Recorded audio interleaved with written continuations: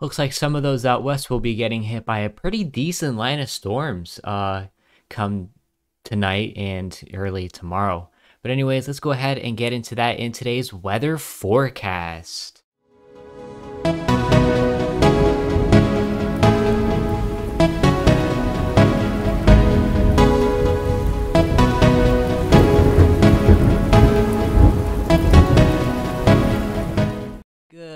Afternoon, everyone. This is Electro Living Weather back for another forecasting video with you all today. Um, so today we will be talking about the potential for a pretty decent line of storms that'll be um, hitting some of those out west. Looks like in Kansas and Missouri are getting pretty um, a pretty bad hit from this line of storms as we are seeing on this model that we are going to be looking at today, which is the NAM 3 kilometer model, which is my favorite um, weather model out of them all because it just shows so much detail and so much things that we need to know. But anyways, if you guys haven't, please be sure to subscribe to the channel, like the video, and turn on post notifications so you guys can get notified for my latest uploads and uh, streams. But anyways, let's go ahead and get right into this video. Also, I can't forget, if you guys haven't, please be sure to subscribe. Um, not sorry, not subscribe. Uh, join the um, Weather for Life Discord server. Link is in the description. If you guys have Discord, please be sure to join that. Otherwise, let's get right into this video because we have something pretty um, significant that we are going to have to be uh, tracking here for the um, next little um, bit here um, going into tonight. But anyways, um, so of course, right here is the line of storms that we are going to be um, watching out for for the next uh, little while here today. Uh, but anyways, so um, let's go ahead and uh, get all the way back to the um, model, uh, all the way back to the uh, start of the model. And as we can see here, um, looks like we just have a little bit of rain going on. Let's go ahead and zoom all the way out to our uh, continental United States here.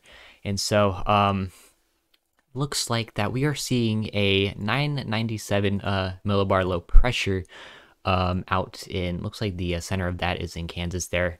But anyways, all of this here is what we need to be watching. So let's go ahead and watch that very closely as that does move over um, uh, the Rockies and into the Dakotas as we are seeing there. So a bunch of rain there. It looks like that we are seeing quite a bit of snow, which we will actually get into today as well. I would like to show you guys some of the snow amounts. So hopefully I don't forget that. But anyways, um, for now, we're going to be um, tracking this uh, severe weather event that will be um, that will be unfolding in um, the Central Plains as we are seeing there. So that big, huge um, thing of rain that does come in from the uh, Northern Rockies as we are seeing there, that was Montana and Wyoming has now, now all shifted down. Looks like into the Dakotas and uh, Nebraska there. But then let's go ahead and now zoom in to uh, the Central Plains because this is where our uh, significant weather event will be taking place. So, um, so as we are seeing here, this is all the um, rain activity, all of this up here, all of that up there. That's um, all of that up there is not going to be something that we'll will be worrying about. Uh, looks like that some of those might be seeing some pretty high winds as we are seeing those isobars. That's what these lines here are called. These are called isobars, and the closer they are together, the windier it will be. So as we are seeing here, uh, just south of Nebraska here, and actually in Nebraska too, we're seeing some uh, pretty uh, significant rainfall going on there. But right here, all in Kansas, right there is what we need to be working on, um, looking at. So um, now that right there, uh, it looks like that it just blows up into this line uh, as it does get into eastern Kansas, and looks like that it does um, kind of start going into uh, Missouri as we are seeing there. Yep, right there is when it starts to go into Missouri. It looks like uh, Kansas City, which is around this area here, will be um, hit quite a bit from this line of storms. So um, something to really keep our eyes on as we do uh, get closer to this event, which will be happening um, early tomorrow, uh, late tonight, um, early tomorrow. So um, that line of storms does look to be going to the uh, uh, southeastern. Um, well, it looks like that it does uh, continue all the way down into uh, south central or southwestern Missouri there, as we are seeing right there. But then it dies out because um, we are seeing maybe some um, hilly terrain going on through there. Uh, so right there, yeah, that's where the Ozarks are. They're all in through here. Um, but anyways, that dies out, and then it just turns into a little thing of showers as we do um, head into. It looks like that this is around um, tomorrow morning. So um, May 9th. Um, so this is a Sunday morning. And then we're seeing just this big uh, area of showers that do uh, move across the Ohio Valley, which will be, bring some pretty um, decent amounts of rain. But then something else that we do need to look at too is all of this down here. So all of that down there, that's um, another line of storms that will be a part of this um, severe weather event, looking like that it could potentially bring some decent amount of uh, severe weather down there too, as we are seeing um, going into Monday. So um, Sunday, and Monday, uh, and even tonight are uh, times that we do need to look at uh, with severe weather because this could be very interesting as we do um, move closer to the event that this will be taking place. So, uh, but anyways, let's go ahead and now take a look at our dew points, our very awesome dew points on the uh, Great NAM 3 kilometer model. Great model. I love this model. So, um, as we are seeing here, um, the uh, moisture is not over uh, through the roof, but it is actually pretty decent to the point where um, you know we could be seeing some um, pretty active storms going on through here. So upper nine, uh, upper not the upper 90s, that would be pretty crazy. Um, upper si- uh, yeah, upper 60s and maybe some of those uh, in the lower 70s, which is down in Oklahoma. But that is not something to extremely worry about because that is not the path that these of storms will be taking. So, uh, which is good news some of those in Oklahoma. But anyways, so um, anyways, yes, we can see this division between um, the uh, dew point temperatures right there. We're seeing um, upper, mid to upper 50s. We're actually seeing some lower 50s right there. But anyways, so um, yes, upper uh, 50s. Um, just um, past where the uh, line of storms will be. This is where our line of storms are um, going to be at this time here. So that'll move through, um, eating up all that moisture as it does move into um, Missouri. And it looks like that we are seeing um, some uh, dew point temperatures in the upper 70s as well. So something to really look at too as we do look uh, as we do get closer to this event. But anyways, so um, that does move through, and so we're seeing dew point amounts of up to almost into the 70s as we are seeing their upper 60s. So um, we are going to keep an eye on that. But anyways, uh, go and now take a look at our um, cold front that will be associated with this line of storms. So um, of course, it looks like that we are seeing some pretty cold air. Uh, it looks like in um, I believe that that's South Dakota right there. So going in from the northwest, um, coming in from the northwest, there we're seeing some uh, cold air. But anyways, um, a lot of warm air coming up from the south. And so that cold front uh, will come through as the line of storms, which is right here about. Uh, so that'll come through from the northwest, and uh, that'll bring some pretty chilly temperatures um, for uh, those in the uh, central plains. And it looks like that we're seeing some pretty cold temperatures up in, in the uh, Rockies too. So um, make sure to bundle up if you guys are um, in that area because it's going to get pretty chilly.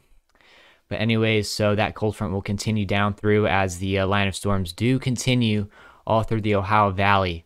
But anyways, um, let's go ahead and now get into our um, Cape amounts because this is um, pretty much thunderstorm activity. So without this, um, you know, thunderstorms will not be able to erupt through the area. So of course, we are seeing some pretty um, high amounts of Cape all in through there. Uh, so right here is where our line of storms are. Uh, all right there, we can see the division um, between um, all this um, uh, air that is dry from Cape, and then we're seeing this pretty um, decent explosion of Cape uh, coming up from uh, Oklahoma there. That'll all um, go through um, into Missouri, and then just just all that, all those storms just eat up all of that Cape as it just goes through. So uh, as we're seeing here, we're seeing very large um, cape amounts, 6,000, which is through the roof, by the way. So, um, but thank goodness for our dew points. They're not crazy. So uh, hopefully we um, don't see too much with that. Uh, sorry about that. That was just a thing on my phone. But anyways, so um, not it's not through the roof um, the dew point amount so hopefully we don't uh, see something super intense from this but still we are going to keep our eyes on this uh, line of storms as we do move into um, the time it does happen. Bulk shear amounts let's get into that because uh, this is what tornadoes need to um, to uh, form up. So the more of this uh, the um, weather can be and the um, longer they can uh, be around for. So uh, as we are seeing, we're seeing some pretty decent amounts of bulk shear going into here. So right here's our where our line of storms are. We can see that um, going through right there. So um, yes, of course, those do move through.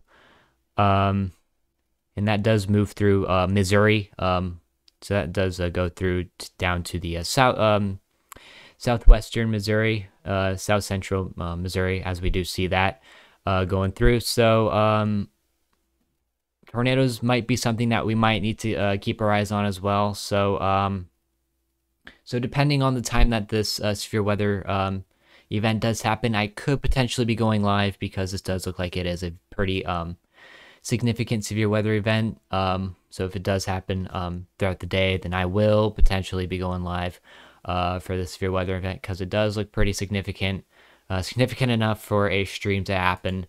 Uh, but anyways, now um, since we got that part of the severe weather event, let's get um, the next part of the severe weather event covered because this is um, what will be happening on Monday. So um, as we do see here, this is actually a part of the um, severe weather event. Uh, we can see all we well, there's a bunch of showers that are all up there. If I do um, go, uh, zoom up to the Ohio Valley, we can just see all those storms that did move um, through Missouri into um, the Ohio Valley. Looks like Kentucky there. Uh, we're just seeing a bunch of um, uh, isolated, um, not isolated, uh, scattered thunderstorms and showers there. So that'll be moving through, but then that does um, look like that does uh, die out. But then we're seeing this in Arkansas in Mississippi. So some of those in the deep south might really need to watch the skies as we do uh, move into Monday because, um, of course, they could. You guys could be seeing some severe weather erupt um, going into Monday. So which is unfortunate because they did just see a pretty large severe weather outbreak in the deep south, in which they really don't need anymore. But unfortunately, we are going to be seeing uh, some severe weather uh, erupt for those down south. So um, this is something that we do really need to keep our eyes on. Unfortunately, for you guys in um, Missouri, so um, or not Missouri, uh, the deep south in Mississippi there.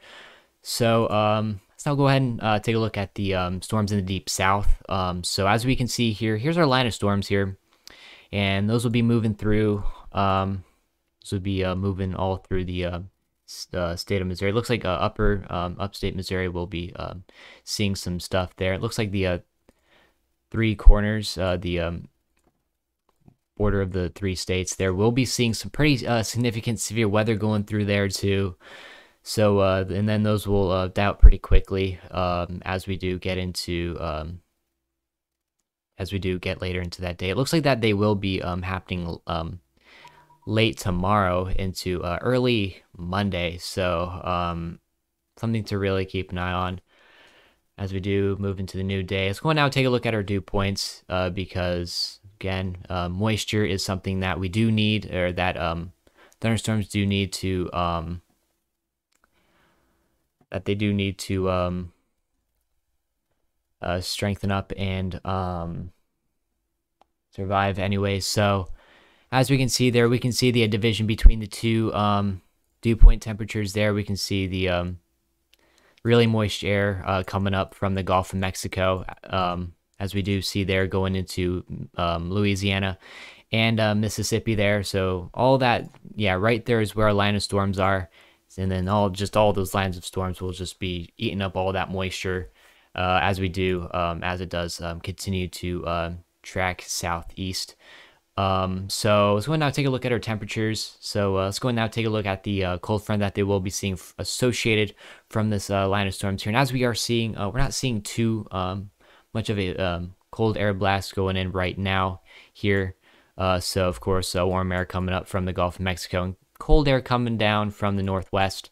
So, um, but then it looks like um, could get decently chilly for some of those in um, north uh, northwestern Mississippi right there. It looks like that they could be dropping down into the 40s um, going into Monday. So um, pretty chilly temperatures uh, that we will need to be watching. It looks like Arkansas could be seeing um, some temperatures into the 40s as well, um, upper 40s. So it's going to get pretty cold uh, for some of you guys uh, in that area. So um, let's go and now take a look at our um, CAPE values because once again, convective available potential energy is thunderstorm uh, energy, and um, thunderstorms need this to survive. Um, so, but anyways, as we are seeing here, um, we're not seeing um, crazy amounts. It's not just it's not incredible amounts. It's just a it's a decent amount that we are seeing. Um, but I most likely the reason why that we are seeing some severe weather happen in this area is pretty much probably be uh, from because the um, dew point temperatures that we are seeing in this area. Um, actually, there is a pretty decent amount of cape there, um, pretty um, decent explosion of cape there, but then it just uh, it just eats up that line of storms that just goes from um, Arkansas all the way into um, Mississippi. There, it, it just eats up all that cape, uh, and then it dies out eventually due to the fact that it is lacking some of that cape in this area right here. Um, seeing a pretty uh, big donut hole or um, of um, of um, where there is no cape uh, in that area. So, um, but anyways, so um, decent amount of cape going on um, in um, the deep south there, as we are seeing. Let's go ahead now take a look at our bulk shear amounts because this is what tornadoes need again to um, or if they want to produce tornadoes, then yes, we do need bulk shear in this area. So, um, as we are seeing here, once again, our line of storms is um, around here. So, um, as we do head into um, late Sunday into early Monday, so that does travel through, and then um, so we're not seeing too um, uh, excessive amounts of bulk shear, which is good news for some of you guys in Mississippi because you guys really don't need too much after what happened um, last week, unfortunately. So, um, but anyway, so we're seeing um, uh, bulk shear amounts of up to looks like 60 knots, maybe um, 65 knots, uh, six, uh, 64 knots right there. So um, decent amounts of uh, bulk shear, but um, not incredibly huge amounts of it. So, which is good news for some of you guys. So, um, yes, this could be a line of severe thunderstorms that could potentially be moving through. Um, looks like um, Mississippi and um, Louisiana there. So, but anyways, before I get, I actually also do want to show you guys some of that snow that did, um, that was um, going on in um, the Rockies there. So um, let's kind of change back to our precipitation um, um, model of the um, NAM 3 kilometer here. And then so um, as we are seeing here, we're seeing some pretty decent amounts of snow going on in the Dakotas. So uh, if we go ahead and now check out uh, our uh, accumulated snowfall, we are seeing um, over a foot in some areas uh, with the snowfall that will be going on with the system that will be producing that severe weather in the um, Central Plains in the south, uh, in the deep south there. So um, you guys could be getting some pretty decent amounts of snow in May, which is crazy. This has been a very cold um, spring for sure. Uh, this is according to the NAM 3 kilometer, but also for some of you guys in the Northeast and um, some of you guys in the uh, Upper Ohio Valley, you guys could be seeing some snow as well. Uh, maybe up to over um, half a foot uh, which is really nuts for um, May, especially this time of the year too. I mean that that is just pretty that that is crazy to see. I mean it, it it's looking. Um, I don't know if some of you guys do recall, but um, last year it did get pretty cold. I uh, think that the um, GFS model did once predict um, a um, storm that'll produce that would produce snow all, all up and down the uh, east coast, all throughout here um, if I do recall, anyways. There were quite a lot of snow squalls that did uh, happen throughout um, the uh, spring, uh, which was pretty crazy to see. Very cold spring last year, and unfortunately, once again, a pretty cold spring this year. So hopefully, things do warm up as we do go into next week, uh, which is uh, probably pretty likely for uh, some of those um, in the U.S. But anyways, so um, that is pretty much what we have for today's. Um, um, weather forecast on Electro Living Weather. Once again, if you guys haven't subscribed to the channel, please be sure to do that. Um, be sure to like this video, this awesome video, and uh, be sure to uh, hit the notification bell so you guys can get notified for um, for um, latest uploads and streams. And also, another reminder please be sure to join our di- uh, Discord server. Link is in the description. Uh, our very great um, weather Discord server, Weather for Life. So if you guys haven't, please be sure to join that. I would um, be very thankful if you guys did that. But anyways, so